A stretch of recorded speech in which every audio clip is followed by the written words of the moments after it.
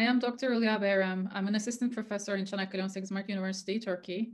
And with my collaborator, Dr. Lamia Benhiba from ENSIAS, Morocco, we conducted this study as part of this shared task. In our classification framework, we were inspired by real life applications. And real life applications in social media are based on conducting uh, suicide risk identification at the latest tweet or latest post level. Therefore, we classify tweets individually and to obtain the person level scores, we apply a majority voting mechanism. And this is our overall framework. Uh, for pre-processing, we applied standard approaches, as you can see here, but we kept stop words, emojis, and hashtags, and we did not apply any stemming. As features, we extracted n-grams that include unigrams and bigrams, and we eliminated infrequent features from each set. As classifiers, we selected these methods, logistic regression, the linear version, because it was recommended for small data sets. And we selected two Naive Bayes classifiers, Gaussian and multinomial, um, because they have different mathematical frameworks and assumptions. We selected linear SVM because it was successful on within dataset evaluations. We actually wanted to include RBF SVM because of its nonlinear structure, but the parameter search uh, using grid search methods turned out to be really costly, so we had to eliminate that. And we came up with our own ensemble methods, which is a weighted sum of the results of the methods above, linear SVM, two naive Bayes, and logistic regression uh, to boost the overall performance per tweet. And we also use uh, GRUBERT, a multi-layer bidirectional deep learning method uh, to evaluate the effect of increasing complexity on this uh, classification problem compared to the standard methods above. We also evaluated and eliminated the following methods.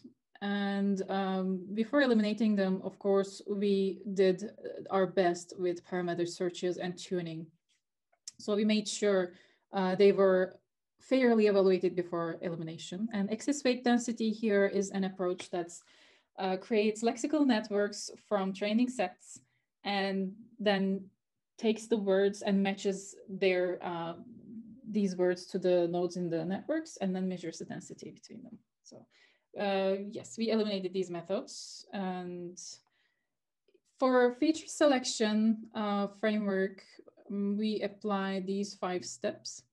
We selected feature selection because we thought features usually contain a lot of noise and the presence of noise might negatively affect many supervised classifiers.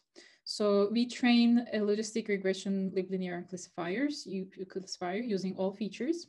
And then we slice it up and then we obtain the ranks uh, this, this classifier um, attached to, you know, scores, the, the importance scores for, you know, based on suicidal and control classes.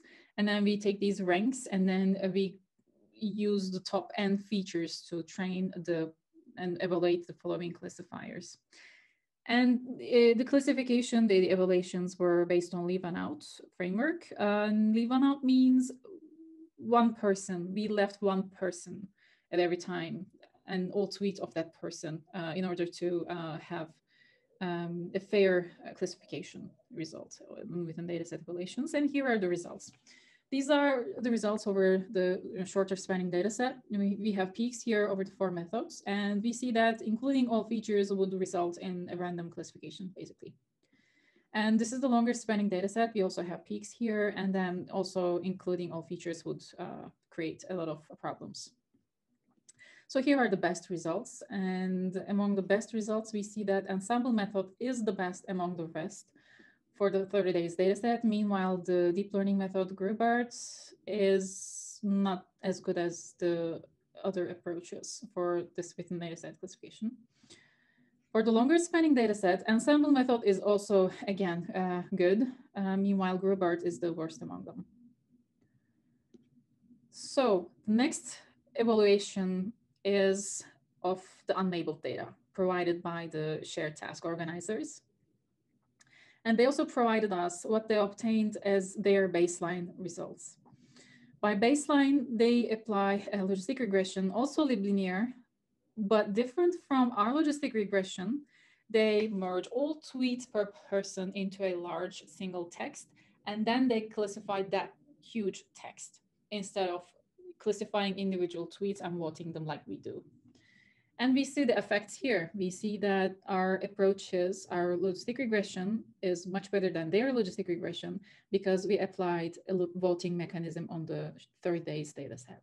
Meanwhile, our ensemble is also good, but logistic regression is better in terms of AUC, but other scores are higher on the ensemble. For the longer spanning data set, however, we see a completely different story. We see that their baseline outperformed our methods.